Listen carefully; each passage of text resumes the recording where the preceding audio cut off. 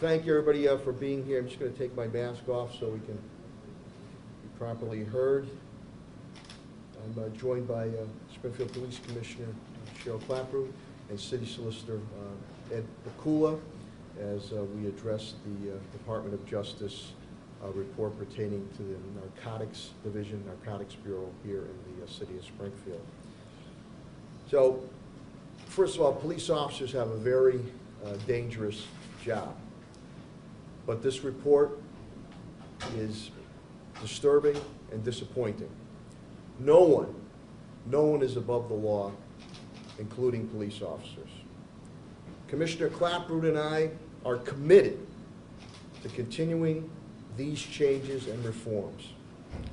We look forward to working with U.S. Attorney Andrew Lelling, who we've had some good conversations with, and his team, to implement the recommended changes. I would also like to point out and recognize the fact that the Department of Justice and U.S. Attorney Andrew Lelling, in their report, thanked the city of Springfield and the Springfield Police Department for our cooperation and assistance throughout the investigation. And I'm going to close with this before I turn it over to uh, Commissioner Clapprood. As further stated, this is in their closing remarks uh, by the Department of Justice. We are encouraged by the Springfield Police Department's cooperation by its initial efforts to address reform. We hope the Springfield Police Department will take advantage of its new leadership and the retention of an outside consulting firm, which we've done with PERF, to resolve the issues we identified within the Narcotics Bureau.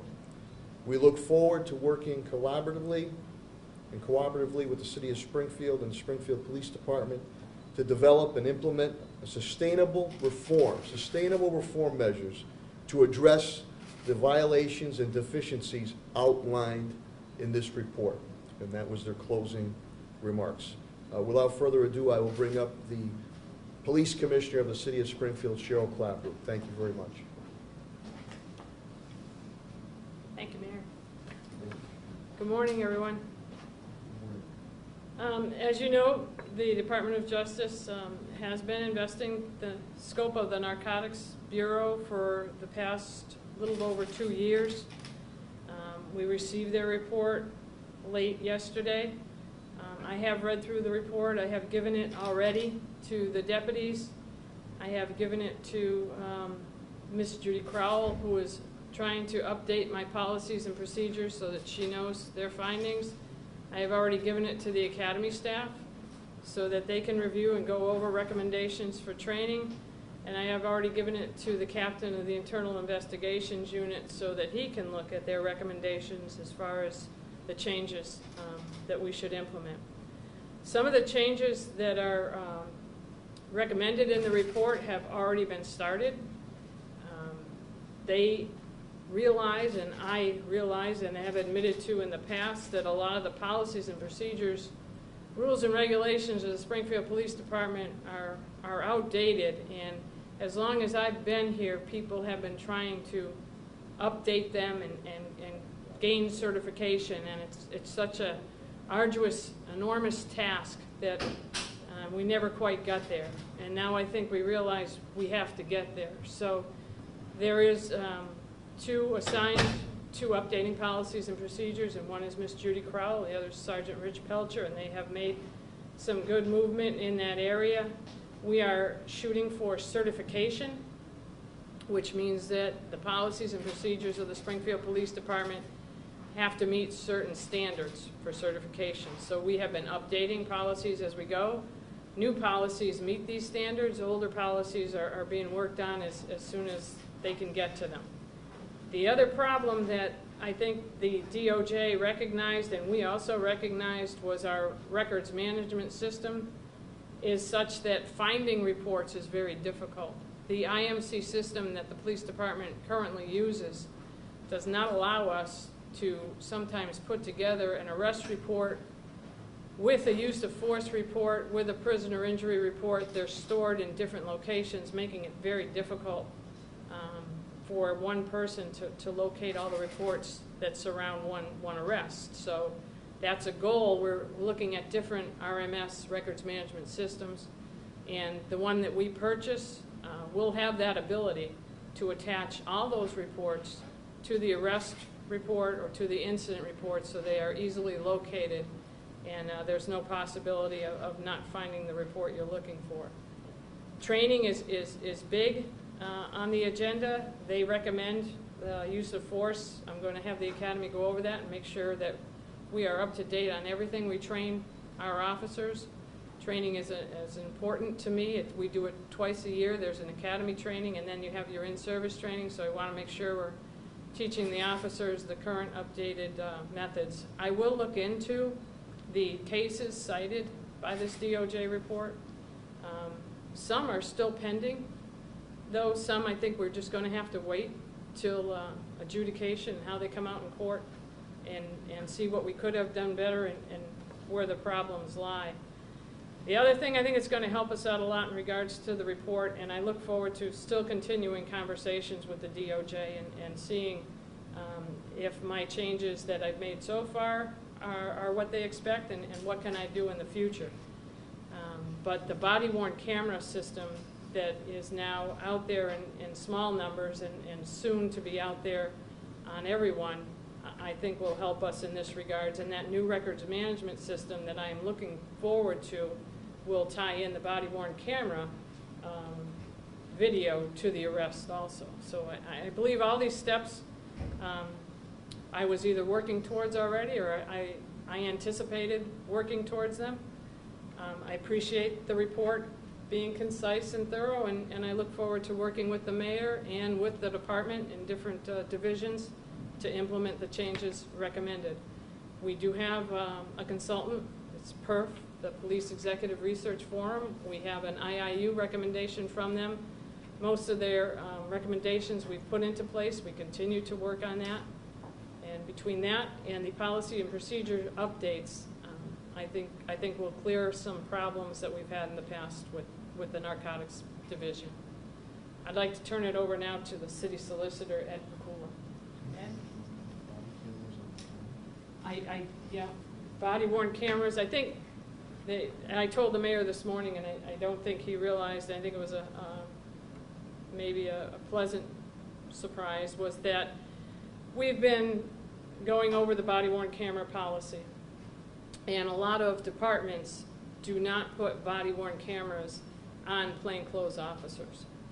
And because of this report, and because of my discussions with narcotics officers and narcotics supervisors, I feel it important, especially because of this report, that my narcotics officers and my plainclothes officers will wear body-worn cameras. There'll be certain exceptions where they will have to say they're not going to be recording, but especially as a result of this report, I want the plainclothes officers and narcotics officers to wear the body-worn cameras. It'll be a transparency um, tool for us, and it'll also, I feel, protect the officers from unwarranted claims. So um, that will be coming out shortly. There's still training parts of the department. We're still training most of the um, squad officers and the uniformed officers, and then we begin with the um, plain clothes. But we have purchased enough cameras. We purchased 511 cameras, so we should be able to accomplish that and have plainclothes officers also don the cameras. Thanks, Mayor. Attorney Pikula? Uh, Thank you, Commissioner. I, uh, I think that uh, the Commissioner has rightfully discussed some of the measures um, that are currently being undertaken, and uh, the report um, includes uh, a number of measures which uh, we will be adopting. But um, overall, I think nobody wants to have DOJ come in and make the kind of findings that they've made, but everyone wants to have a better police department. And that's what we're committing to here today, to move forward with the DOJ, work in cooperation with them. The law department will be uh, working to put together an agreement that's enforceable. We'll put together all of the terms, and it won't just be limited to the, the scope uh, that's in the report here. We'll, we'll work to hammer something out uh, that we can all be proud of, and that we can all by, all be, live by, and, and we'll all be better off for it. So, um, we're looking forward to the continued work with the DOJ, and, um, and uh, I think that the first step uh, in any reform is recognizing the problem, and this report lays it out for us. Uh, The next step is moving forward uh, to bring in some sustained reforms that uh, can make us all better. Thank you. We'll take uh, any questions that uh, you might have. Obviously, we're, all the recommendations we're moving forward on. Some Commissioner Clapprood has already moved forward on, and I thought that was a great leadership on her part, uh, that she is uh, ordering the Narcotics Bureau, Narcotics Unit, uh, that they will wear body-worn uh, cameras. I think that is a, uh, a a huge statement. Uh, Yes, Steph? Um, Can you say more about the agreement that's enforceable? Is this something, are we averting a consent decree here? Eddie can explain that. Um, This, this isn't the first time the city's been involved with DOJ investigations. Uh, We, and um, in, in the past, we've, we've had them on various issues. Um, Voting comes to mind, you recall that when we had a a lawsuit, an injunction. um, Federal monitors had been put in place. Uh, But we worked with DOJ on that, and we came to agreements, and we instituted reforms, and we're better off for them. And this has some similarities. I don't know uh, how ultimately um, uh, the agreement will look like, but, um, but we've, we've, we've done in various ways, whether it be through a lawsuit or whether it be through uh, an agreement. um, We'll, we, we are committed to working together and negotiating something that um, everyone uh, wants to get behind. But, so does this take consent decree off the table? I mean, No, I, I, I think any remedies are on the table. Um, What the ultimate goal is, is to have an agreement that we all are behind. Um, At, as, you know, there has been no lawsuit filed. Hopefully, we can avert that. Uh, But, um, you know, what the ultimate end agreement looks like uh, will be a a subject of negotiation. I'd have to say, Steph, that uh, U.S. Attorney uh, Lelling, Andrew Lelling, in our conversations, uh, again, he puts it right in his report, uh, was uh, very appreciative of our cooperation and that he feels that a roadmap that we're working together here for the betterment of our police department.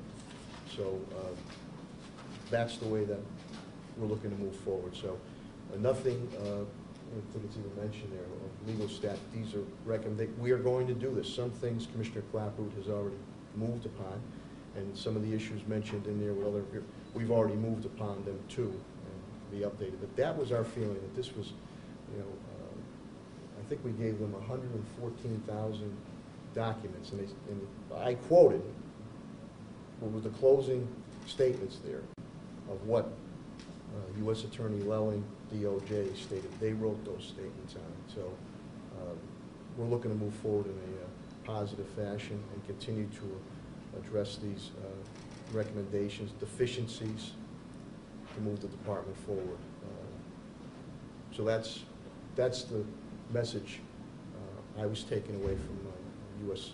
Attorney Lelling. Um, the report outlined some deficiencies in the community police board, Sure. um, members' training. Yep.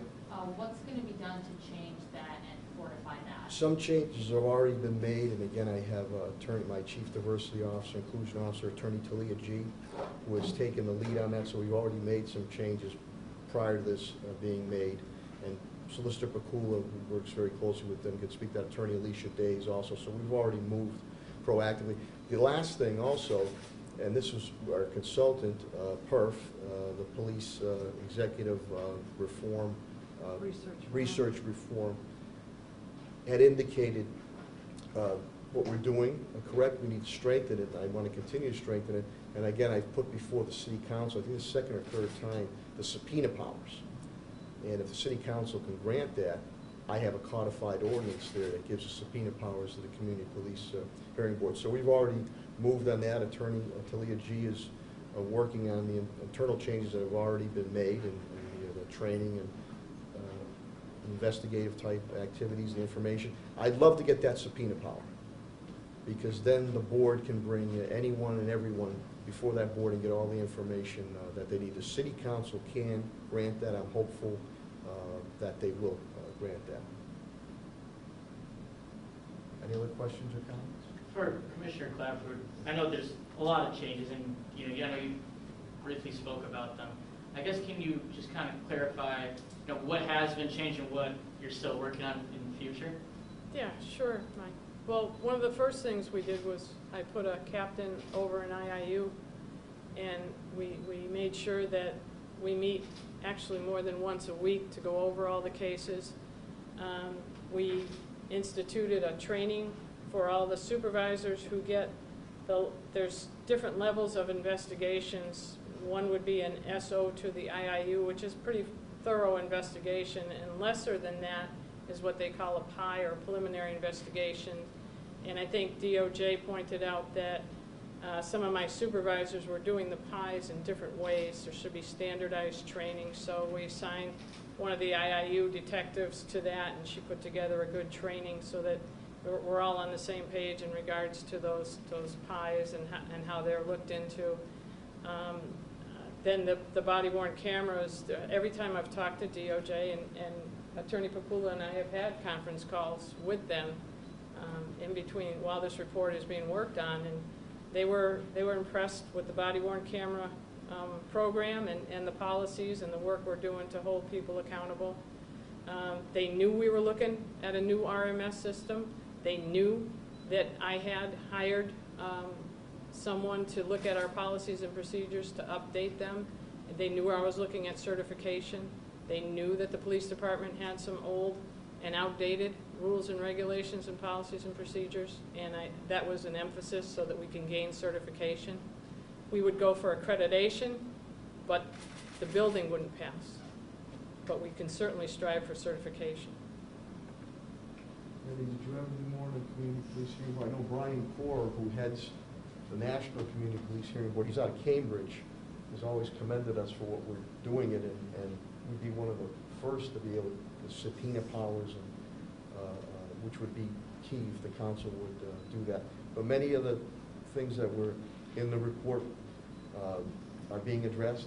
Some have already been addressed, this report was uh, post, been addressed on some side issues that they brought up that we had addressed uh, priorly on. So we look forward to uh, continuing to cooperate and and work very closely with uh, U.S. Attorney Lelling and DOJ.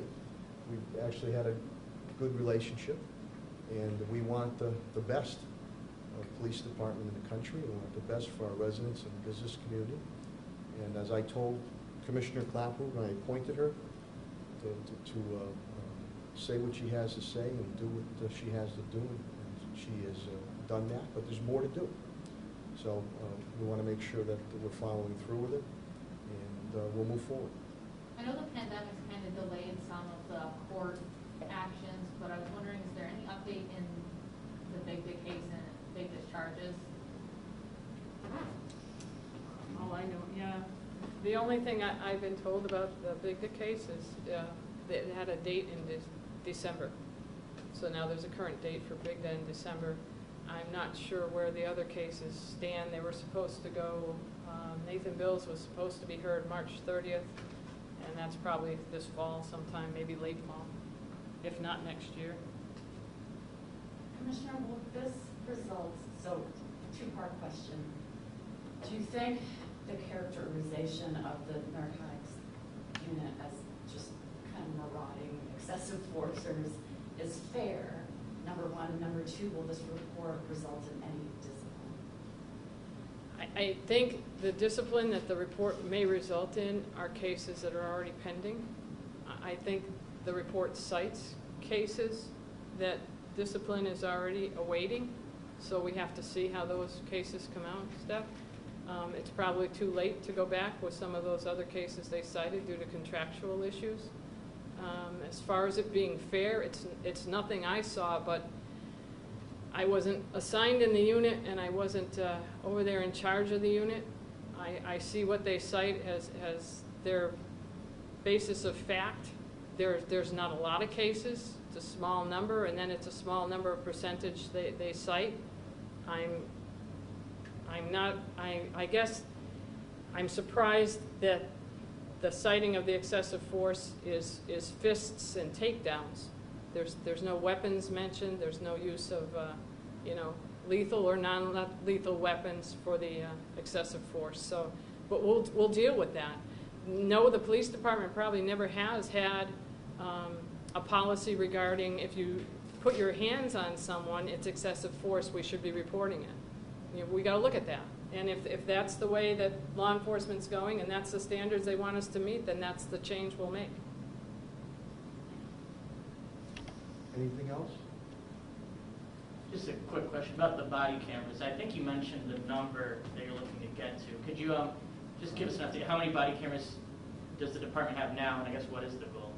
We, we purchased 511 cameras, Mike, and the goal would be for all squad officers and uh, traffic and uh, plainclothes detective and narcotics to wear them uh, whenever they go out. The extra cameras, if someone's working extra detail and there's a camera available and they want to take one, they should be able to. Uh, They're not allowed in, in the Springfield Public Schools, so the school unit will not be wearing them. Um, So the policy and, and the way the program stands right now is, is most officers who come in contact with the public will be wearing a body-worn camera. Thank you, everybody. I know we put this together quickly, and I know you were patient and waiting for it, so we really thank you for getting out the information. Uh, My communications director, Bill Baker, uh, you should already have it. There's a written version uh, of uh, uh, what some will sit here and even some more in depth uh, as we move uh, forward. So each and every one of you stay healthy, and uh, we appreciate the media being here. It's important to get uh, uh, all the information out there, uh, whether good, bad, or challenging, uh, because our goal is to continue to move the, not only the city forward, but our Springfield Police Department uh, uh, forward. Thank you. Thank Thanks, you. Commissioner. Sure, thanks, Thanks, Mayor. Thanks, everybody. Thank you.